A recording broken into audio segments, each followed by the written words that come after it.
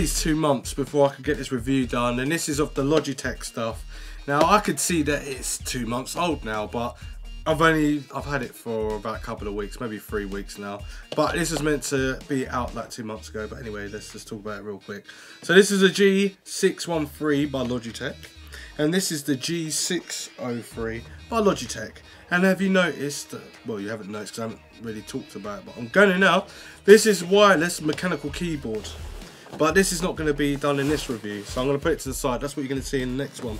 But we've got the actual, well not mechanical mouse, but we've got a wireless mouse. This is a gaming mouse. This has got 500 hours of peak like high performance playtime and when it's just not being played and you got it on a lower set the lowest setting it goes for 18 months without like with the battery life lasting that long which is absolutely nuts it's got a DPI now let me get this right a DPI of 200 all the way to 12,000 DPI that means that if you've got a massive like say like a cinema screen it will be able to pick up pixels per inch really quickly because of the technology that's involved in this little gaming mouse, which is pretty crazy. If you've got a small screen, it's going to do it really, really well anyway. It's got a, like a one millisecond response time and all kinds of stuff going on in there.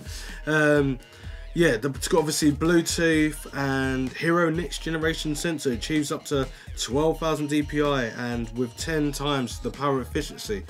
Well, I'll be the judge of that, but I haven't got like uh, 18 months. That's like a jail sentence to like test this out. And um, yeah, it's pretty crazy. But yeah, it's got loads of stuff in it. But let's get it out the box so you can have a look. And then uh, we'll talk more about the specifications as we go along. Because there's a lot to cover just about this actual mouse itself. So it's got, I think, if I remember right, it's got a two-year warranty on this uh, mouse as well. So you get a nice little instructions and it should have an extender cable as well which is USB you can obviously download and update firmware and all that sort of stuff. 1000 Hz is the highest setting. 125 Hz is the mediocre setting. And apparently you can work with one battery.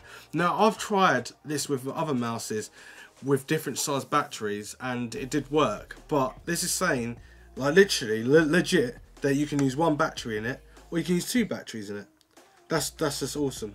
But anyway warranty important safety compliance right there. And then you've got the mouse itself and it comes with the Duracell batteries but it hasn't got the, the real like cool batteries where you can just hold it down on one side like on the plus and the minus and it tells you how much battery power is in there but these are uh, French so non per le venti uh, detail so these are French batteries, so there should be a bit more chic, a bit more power in it.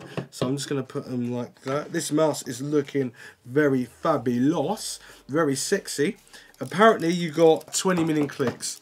I'm to, right this video, I'm to do 20 clicks and I want 10 million views in 20 clicks. Nah, just, just kidding. Right, anyway, the clicks, right, in my hand, you know what? This mouse feels like a like an old school cheaper mouse, but it's not. It's just the ergonomic design of it. It feels really nice. So I'm not left-handed, but this feels nice in the left hand, as you can see. I would have normally quite a few problems doing this with a left hand if I'm not left-handed, and I'm right-handed, and this feels so comfortable in the hand. And let me notice if there's any creaking in it.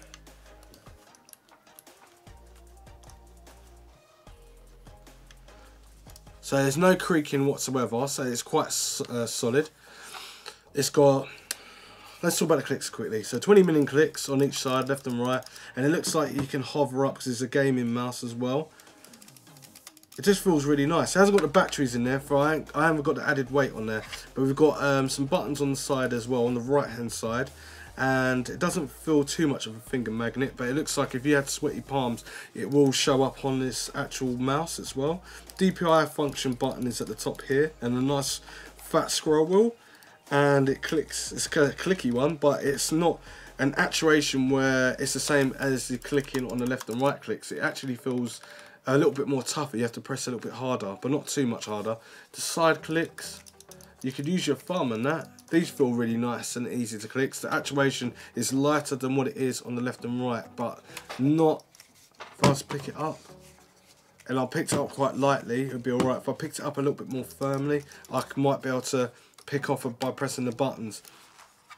Underneath you've got high, which is for obviously the high hertz setting and obviously when you're playing at higher sensitivities and stuff like that you're going to notice that the battery is going to decrease within 500 hours. That's still quite a long time. And then you can play it on low and then it's 18 months and then obviously you can turn it off. That's quite a big difference from 500 hours to definitely 18 months. That's a hell of a lot of difference. You got some, you've got two glide feet and we're going to test the glide feet out we're going to test this out on the monitor and everything like that this also works from windows 7 upwards i don't know if it works from windows xp i would have thought so because it's usb it could even probably work for windows windows xp windows vista windows 98 because it's still a mouse it's got to be but if it doesn't then at least it says on the box it works windows 7 but anyway it works with android 3.2 it works with mac and it works windows so it works at everything with which is newer and stuff. It's got the Logitech logo there, so if you're not into RGBs and colours and stuff as much, then you don't need to worry about that. Uh, it's got an LED indicator for the DPIs, so you can know what speed you're going to be running at. But also, when you're going to be using the Logitech panel, which is going to be monitoring the sensitivity and the axis and the pixels per inch, and how many clicks and whatever you've uh, you basically added up the buttons. So say that you want this button to do such and such that button to do such and such a DPI to go such and such speed you could do that in a Logitech panel. Plus you can download all the software and firmware and update this so it works really well. And also on the back there's where you've got your button for your Bluetooth and obviously connectivity. Make sure everything's working and it won't work without obviously needing this as well this is your USB connector so it knows where to look for the actual program so I don't well let's take this out at the moment oh, I think you take the top off that's it oh my god how easy was that holy right okay I was not expecting that. I was expecting to get my nose broken and lifting the top up. But look how easy that is. That is easy. So You've got a little bit of foam dampening there. Um, this looks really well made and this is where you can put a left or a right battery in there.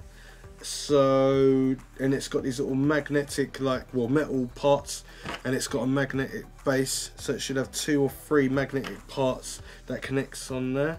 Looks like a little bloody car. It just looks crazy.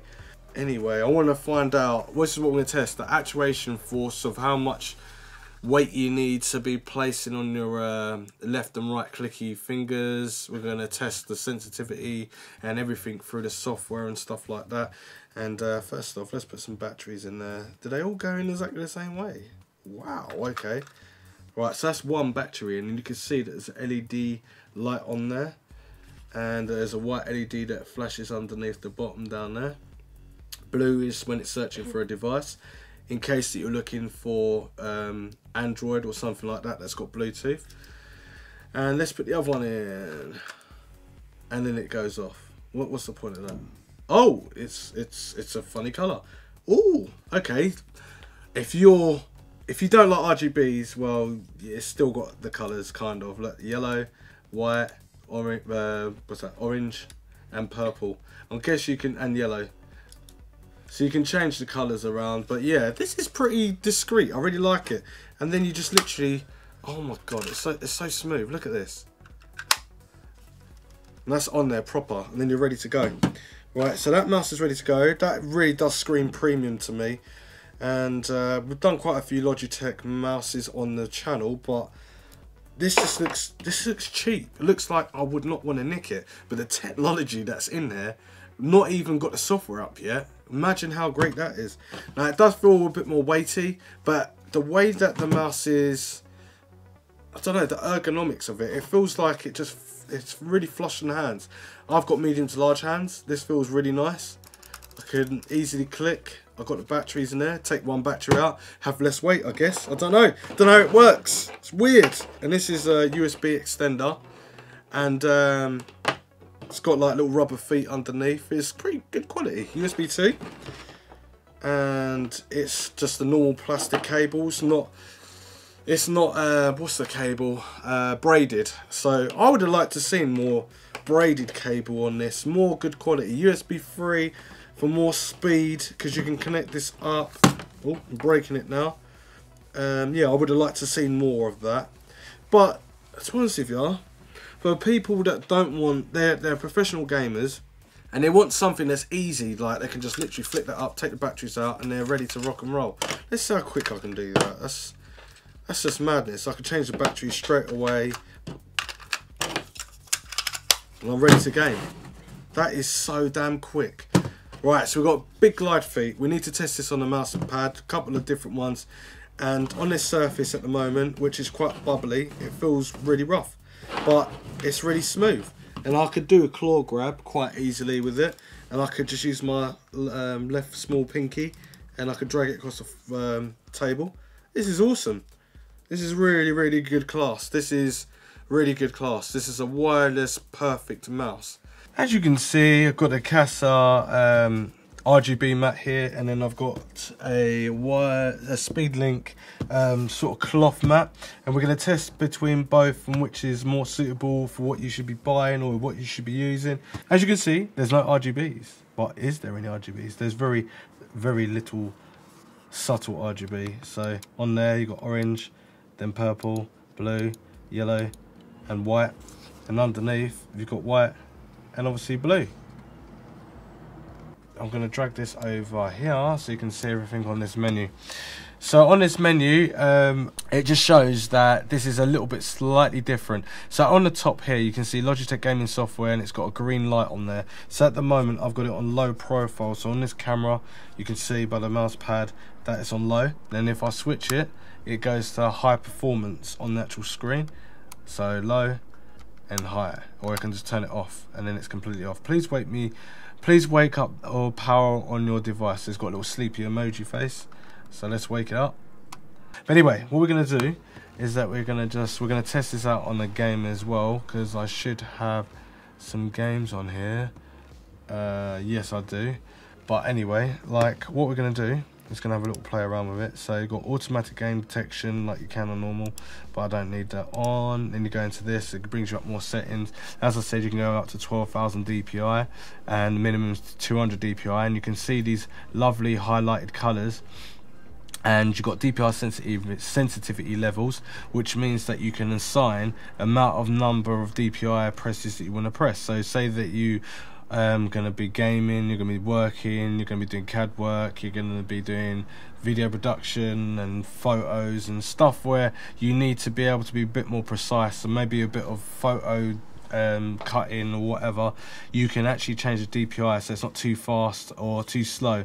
Then you've got general notifications, analytics, and then obviously the mouse so you can do the firmware updates the profiles when you want to change different profiles and assign your own uh, profile, persistent profile, profiles, cycling, uh, uh, control, and it all comes up here when it's all connected through the internet and all that sort of stuff, or you're connecting it to your uh, phone or tablet, and developer if you're a developer and you want to go into that, which I don't need to.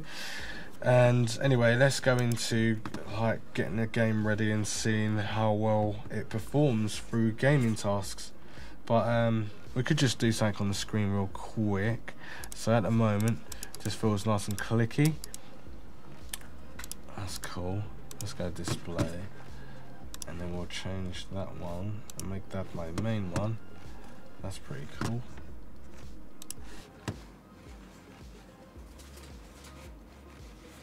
And you should be able to see what I'm doing on here. Now I'm going to play Call of Duty because it'd be pointless trying to play Call of Duty on uh, or Tekken 7 with a a gaming mouse and keyboard. That'd be quite hard actually. So what we're going to do in this game, we're just going to check for sensitivity and stuff and see if how great it is because uh, this has been tested by the most professional people on the planet when it comes to games.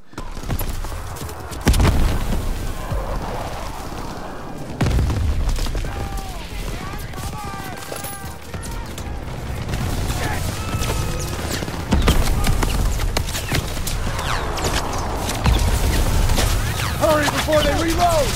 Move it!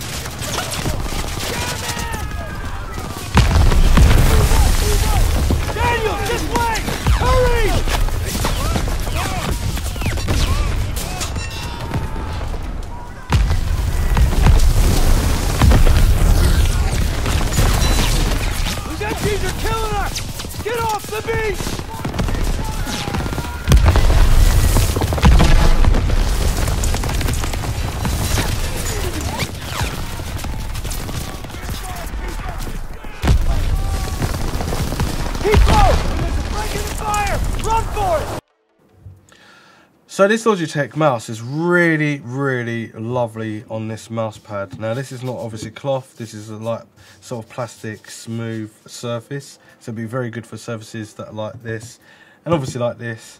And uh, this is more of a cloth one, which I can feel there's more drag to it. But it does work still in the same way, but this is just a lot more smoother. Depends on your own preferences of how you want to use your mouse. Now this is awesome. This is, I love this. This is just, it just flows. Now I can easily hold it just above my finger. As you can see, it's not even, it's just my fingers that are touching the mouse pad. And I've got loads, nice lift and it's really precise. Now the whole point about buying this gaming mouse is the point is is that one millisecond means a lot when you're gaming at a professional level. That means that when you need to get headshot or you need to move really quickly and the sensitivity and the axis and the pixels per inch and the sensor of the uh, mouse and the microprocessor it all comes into play in this one little little little chassis that's what i'm going to call it it's a little chassis this little thing is absolutely nuts. Works with batteries and also works with um, rechargeable batteries. But yeah it's really cool. Really really cool. And it just fits back like a robot. DPI is really sensitive and really nice. Oh my god I've actually lost my DPI I. Think I had it on 12,000 whoa. Well that is ridiculously whoa. All I can say is that that's ridiculously fast Right, so let's slow that down. Right, then we can do it really slow at 200 DPI. But anyway, definitely worth uh, getting. Oh, what's the? Oh, I haven't checked the website yet. Let me check a website out real quick. Right, so now I'm to do is I'm just to scroll down this little page on the Logitech web page by clicking one click into the scroll wheel and just going down and checking the sort of speeds that we can get out of it.